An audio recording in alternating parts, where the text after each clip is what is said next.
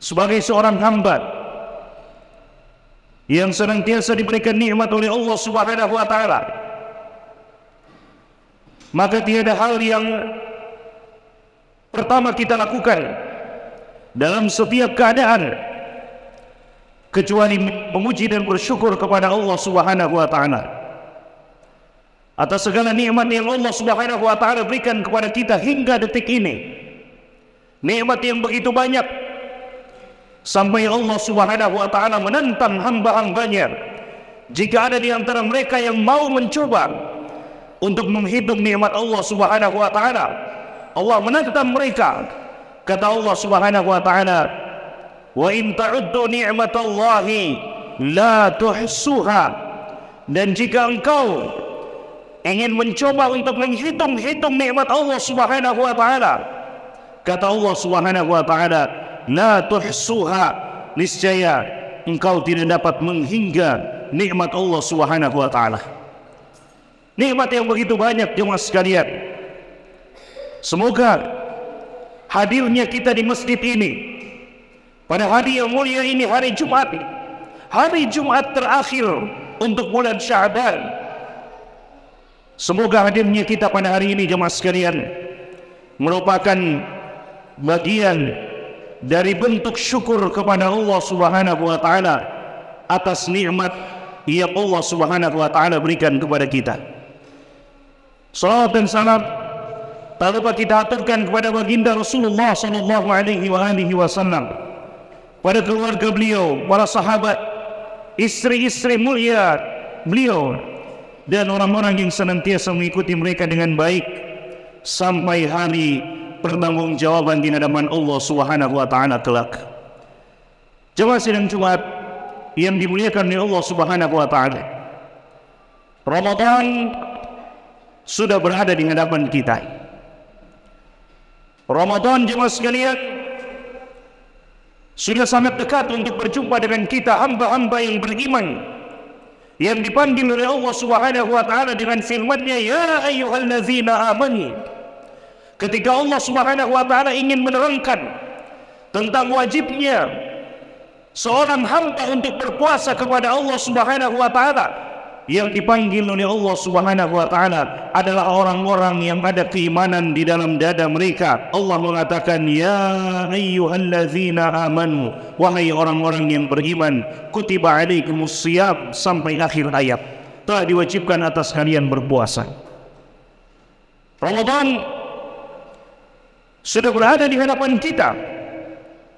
Bulan yang tidak hanya penduduk bumi yang merindukannya, tapi juga penduduk langit Allah Subhanahu wa taala senantiasa merindukan kedatangan bulan suci Ramadan jemaah sekalian.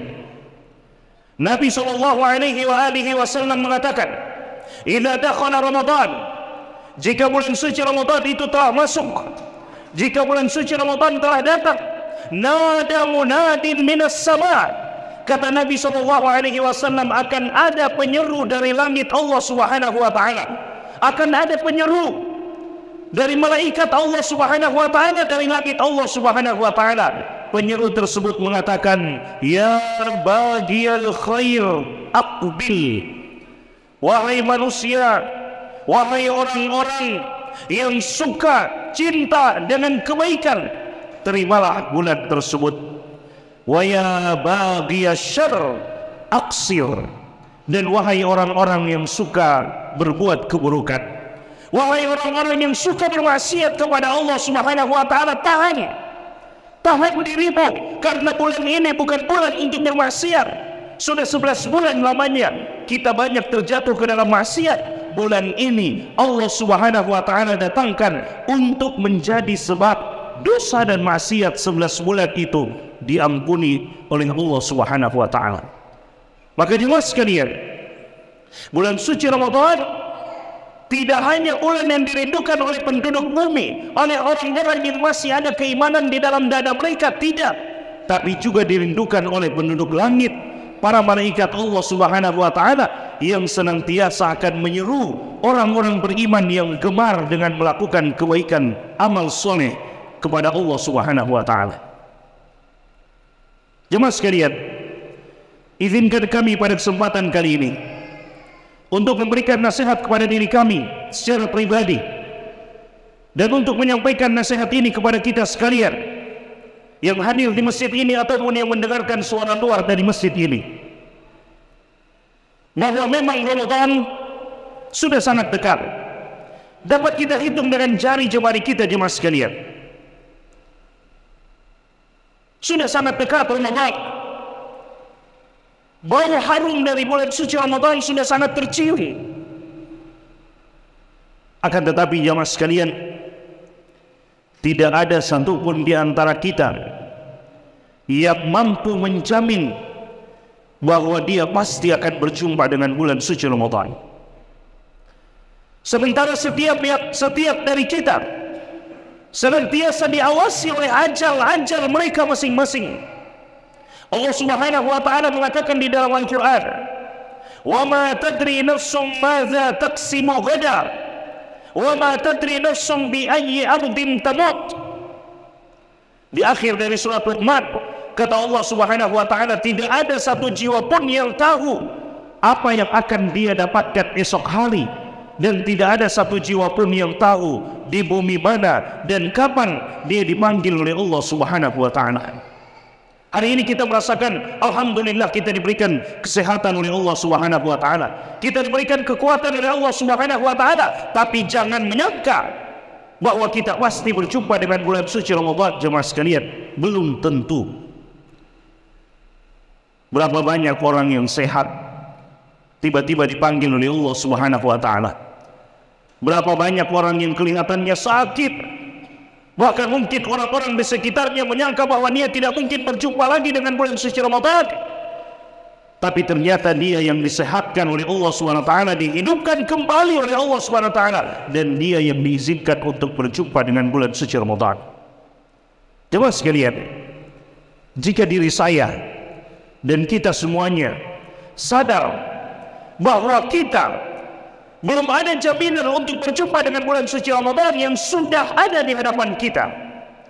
Maka di antara hal yang sangat perlu untuk kita lakukan menyangkut bulan suci Ramadan ini adalah banyak mengangkat dan menengadahkan tangan kita kepada Allah Subhanahu wa taala. Banyak berdoa dan meminta kepada Allah Subhanahu wa taala agar Allah Subhanahu wa taala izinkan kita berjumpa dengan bulan yang mulia tersebut. Karena sekali lagi jemaah sekalian, tidak ada jaminan untuk kita berjumpa dengan Ramadan. Meskipun Ramadan tinggal satu jari kita akan berjumpa dengan Ramadan. Kalau Allah tidak izinkan, maka kita tidak akan berjumpa dengan bulan yang mulia tersebut. Sementara saya dan kita semua jemaah sekalian adalah hamba-hamba yang sangat membutuhkan Ramadan tersebut. Kenapa kita harus berdoa dan meminta kepada Allah agar Allah pertemukan kita dengan bulan suci Ramadan? Jawabannya karena kita sangat membutuhkan Ramadan. Karena kita sangat butuh rahmat Allah Subhanahu wa taala yang dibukakan di bulan suci Ramadan karena kita sangat butuh maghfirah pengampunan Allah Subhanahu wa taala yang Allah bukakan di bulan suci Ramadan. Idza jaa Ramadan jika bulan suci Ramadan datang dalam riwayat yang lain Nabi memberikan kabar gembira kepada para sahabat qad ja'akum Ramadan. Sungguh telah datang kepada kalian bulan suci Ramadan syahrun mubarak bulan yang penuh dengan keberkahan futihat abwabul jannah. Di dalam bulan tersebut pintu-pintu surga Allah bukakan. Wa ghulqat abwabun nar. Dan pintu-pintu neraka Allah tutup Pintu surga Allah bukakan. Pintu neraka Allah tutup. Artinya rahmat Allah terbuka luas jemaah sekalian di bulan suci Ramadan. Makanya tidak ada seorang hamba pun kecuali dia membutuhkan Ramadan. Karena dia tahu dirinya 11 bulan ini telah berbuat apa saja. Karena dia tahu 11 bulan sebelum datang Ramadan ini siapa dia. Siapa dirinya? Bagaimana hubungan dia dengan Allah Subhanahu wa taala? Dia tahu. Balil insan wa ala nafsihi basirah Kata Allah Subhanahu wa taala, bahkan manusia itu terhadap dirinya sendiri basirah, dia tahu siapa dirinya. Jemaah yang dimuliakan oleh Allah Subhanahu wa taala. Maka kita sangat butuh dengan bulan suci Ramadan. Angkatlah tangan kita jemaah sekalian. Mintalah kepada Allah Subhanahu wa taala. Minta dalam sujud-sujud kita, dalam setiap doa kita. Allahumma ballighna Ramadan. Ya Allah, pertemukan kami dengan bulan suci Ramadan ya Allah. Kami sangat butuh dengan bulan suci Ramadan. Minta kepada Allah jemaah sekalian. Agar Allah berkenan mempertemukan kita dengan bulan pengampunan tersebut. Yang kedua kata para ulama kita, selain kita meminta kepada Allah agar Allah izinkan berjumpa dengan bulan suci Ramadan, jangan lupa juga minta kepada Allah agar Allah Subhanahu wa taala memudahkan kita untuk beramal ibadah di bulan suci Ramadan. Karena berapa banyak orang yang Allah izinkan bertemu dengan Ramadan tapi dia tidak bisa berbuat apa-apa tidur paling banyak daripada sholatnya handphone paling banyak daripada bacaan Al-Qurannya pembicaraan-pembicaraan yang tidak bermanfaat lebih banyak daripada ibadahnya kepada Allah Subhanahu wa taala. Berapa banyak orang yang Allah izinkan dia bertemu dengan bulan suci Ramadan dan dia menganggap Ramadan itu adalah rutinitas yang setiap tahun datang. Tidak ada bedanya dengan bulan-bulan yang lain. Wa na'udzubillah thumma na'udzubillahi min dzalik Rasulullah sallallahu alaihi wasallam pada suatu ketika naik ke atas mimbar beliau. Kemudian beliau mengucapkan amin amin amin. Tiga kali Nabi sallallahu alaihi wasallam mengucapkan amin. Para sahabat heran. Ada apa wahai Rasulullah? Kenapa engkau mengucapkan amin wahai Rasulullah? Amin yang berarti kabulkanlah ya Allah. Ada apa wahai Rasulullah maka Nabi sallallahu alaihi wasallam mengatakan laqad atani Jibril. Jibril alaihi salam telah datang kepadaku dan menyampaikan tiga perkara tiga doa yang diaminkan oleh Nabi sallallahu alaihi wa alihi wasallam. Dan di antara doa tersebut adalah raghima anfu rajulin adrakahu ramadan thumma sadaqa wa lam yughfar lahu. Sungguh celaka celaka bagi seseorang yang Allah izinkan dia berjumpa dengan bulan suci Ramadan. Lalu kemudian Ramadan pergi meninggalkannya. Dan dia belum mendapatkan pengampunan dari Allah Subhanahu wa taala. Tidak semua orang yang berjumpa dengan Ramadan mendapatkan ampunan dari Allah jemaah sekalian. Maka selain kita meminta kepada Allah agar Allah Subhanahu wa taala pertemukan kita dengan bulan suci Ramadan jangan lupa juga untuk meminta kepada Allah agar Allah mudahkan kita beribadah kepada Allah Subhanahu wa taala. Agar Allah mudahkan kita berpuasa. Agar Allah mudahkan kita qiyam Ramadan salat tarawih. Agar Allah mudahkan lisan kita untuk membaca Al-Quran. Agar Allah subhanahu wa ta'ala mudahkan kita untuk bersedekah. Agar Allah subhanahu wa ta'ala mudahkan kita untuk berzikir. Agar Allah subhanahu wa ta'ala mudahkan kita untuk melakukan aktivitas amal ibadah kepada Allah subhanahu wa ta'ala yang dengannya kita keluar dari bulan suci Ramadan membawa predikat la'allakum tattaqun takwa kepada Allah Subhanahu wa taala. Coba sekalian yang dimuliakan oleh Allah Subhanahu wa taala yang berikutnya. Saya dan kita semua adalah manusia biasa. Manusia summiyal insanu insanan likathrati nisyanihi. Manusia dikatakan manusia karena banyak lupa mereka kepada Allah Subhanahu wa taala. Banyak lalai mereka. 11 bulan jemaah sekalian jika saja Allah menginginkan setiap kita menghitung dosa yang sudah dia lakukan selama 11 bulan sebelum datang Ramadan, maka sungguh kita akan sangat malu untuk memperlihatkan hasil hitungan kita kepada Allah Subhanahu wa taala. Sangat banyak kullu bani adam khata' kata Nabi SAW setiap anak cucu Adam banyak melakukan kesalahan banyak sekali kesalahan yang kita lakukan, sengaja ataupun tidak sengaja. Secara sembunyi-sembunyi atau bahkan secara terang-terangan, naudzubillahi min. Maka jemaah sekalian, di antara nasihat para ulama kita menjelang kita menjemput bulan keberkahan tersebut, bulan kesucian tersebut, hendaklah kita menyucikan hati kita dengan banyak bertobat kepada Allah Subhanahu wa taala. Karena jemaah sekalian, sungguh sangat tidak pantas. Bulan yang kita anggap sebagai bulan suci, bulan suci Ramadan, bulan yang kita anggap sebagai bulan suci, lalu kita sambut dengan hati yang kotor, masih penuh dengan kemaksiatan dan dosa kepada Allah Subhanahu wa taala.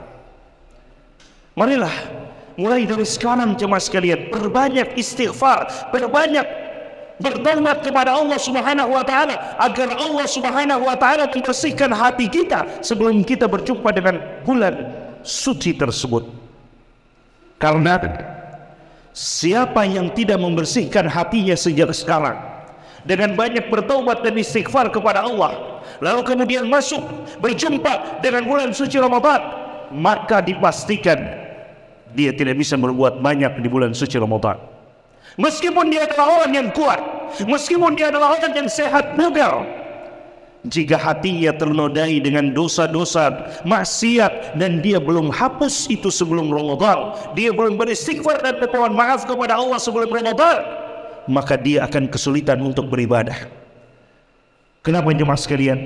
Karena dosa itu mengikat seorang hamba sehingga hamba itu tidak bisa berbuat banyak Ketika Imam Al-Hasan Al-Basri rahimahullah ta'ala ditanya oleh seseorang wahai imam aku telah menyalakannya alarmnya untuk membangunkanku tengah malam agar aku bisa beribadah kepada Allah tapi subhanallah kenapa aku tidak bisa beribadah wahai imam apa kata Al-Hasan Al-Basri kata Hasan Al-Basri la ta'sillaha fil nahar yuqidhuka fil lail Jangan engkau bermaksiat kepada Allah di siang hari supaya Allah membangunkanmu di malam hari. Dalam riwayat yang lain, Al Hasan Al Basri mengatakan, "Kapatkah sayyi'atuka? Engkau telah dihalangi oleh dosa-dosamu untuk bisa beribadah kepada Allah Subhanahu wa taala." Jemaah sekalian, kadang seseorang itu tidak bisa beribadah bukan karena dia tidak mampu, bukan dia sangat mampu. Tapi dosa-dosanya yang menghalangi dia sehingga dia tidak bisa beribadah. Sehingga perbanyaklah taubat jemaah sekalian, saya dan kita semuanya. Perbanyaklah istighfar kepada Allah Subhanahu wa taala. Semoga dengan itu Allah Subhanahu wa taala memudahkan kita beramal ibadah di bulan yang penuh dengan kemuliaan tersebut.